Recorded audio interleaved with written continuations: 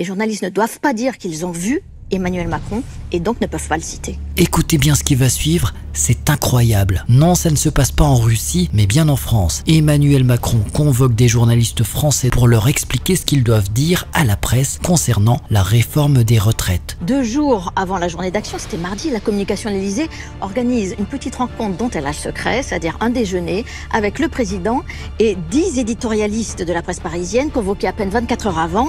Une rencontre en toute discrétion. Alors on y trouve Guillaume Tabar du Figaro, Dominique Seux de France Inter et des Échos, Françoise Fressos du Monde ou encore Nathalie Saint-Cric de France Télévisions. L'objectif de l'Élysée, c'est qu'Emmanuel Macron distille la bonne parole, donne lui-même les éléments de langage aux dix journalistes les plus influents de la presse parisienne, afin que la parole présidentielle infuse dans l'opinion et pourquoi pas l'influence. Mais il y a une condition de taille à ce déjeuner.